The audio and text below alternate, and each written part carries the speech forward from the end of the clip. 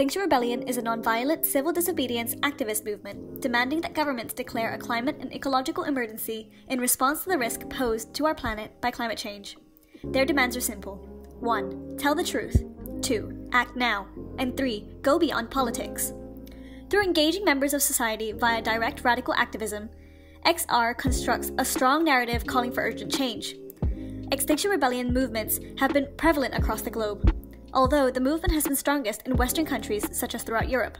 The focus of Extinction Rebellion's movement is highlighting the urgency of the climate crisis, which can be seen across the world in different ways and at different scales.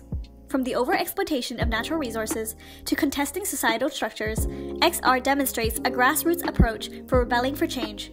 Exploring justice, transformations, and sustainability is key to understanding the Extinction Rebellion mission. Justice is an integral part of Extinction Rebellion's motives.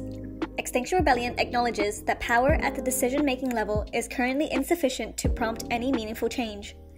Political elites with monetary interests grounded within capitalist ideologies are allowing ecological degradation to happen as it aligns with their interests. The Citizens' Assembly on Climate and Ecological Justice is proposed by Extinction Rebellion, made up of randomly selected people representing a cross section of society.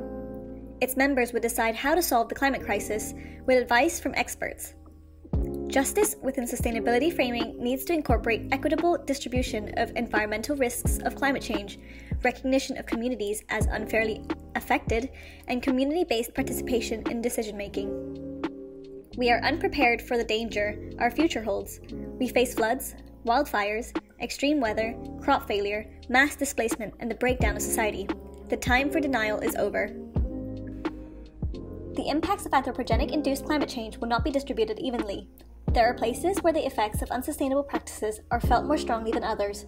For example, Southern Africa is said to have 45 million people facing hunger across the region due to persistent drought and crop failure, which is exacerbated by the climate crisis. Displays of activism varies across the world, but central to all XR activities is pressuring governments to do better and engaging in more radical tactics. In the UK, 200 XR rebels caused traffic disruptions in May 2021 to encourage the government to start making meaningful change. Two years prior, the government had declared a climate emergency, with the pandemic proving how governments can suspend business as usual to avoid disaster. Yet, when it comes to the colossal threat of the climate and ecological crisis, the only action they seem willing to take is to further criminalize protests. XR's actions are aimed at bringing justice to the core of the debate and act with more urgency. Sustainable changes need to be made, and representation of the people needs to be implemented in the decision making process. Moving on, how different organizations and or people frame sustainability is also important. This is because it shows the methods on how people communicate urgency. John Dryzek defines discourse as a shared way of apprehending the world resting on certain assumptions and common terms. According to Dryzek, there are two different dimensions of environmental discourses the type of end goals classified from reformist to radical, and the means of achieving those, from prosaic to imaginative. Based on the examples we've already seen throughout, we already know that Extinction Rebellion fits straight into the bottom right under Radical Prosaic. The key to having climate justice and sustainability is spreading knowledge and understanding which allows for transformation. The tactics of XR align with transformative sustainability approaches to change, as centrally to XR's strategy is rebellion.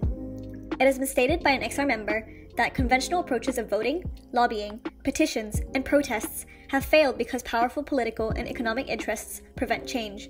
Our strategy is therefore one of nonviolent, disruptive civil disobedience, a rebellion. Topics like this are often intersectional, and the recent Kill the Bill protests have demonstrated this well.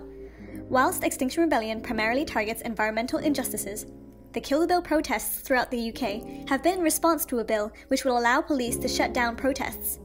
This aligns with a key part of transformation thinking, which would emphasize the role of agency and citizens. It is argued that governments have too much power over their citizens, and XR argues that if we are to have any hope of coping with the emergency, we have to move beyond the politics that have so far held us back and into listening, dialogue, and towards unity and action. Extinction Rebellion does not want to seize power, we want to place power in the hands of citizens. Attention has been brought to the nature of Extinction Rebellion activism.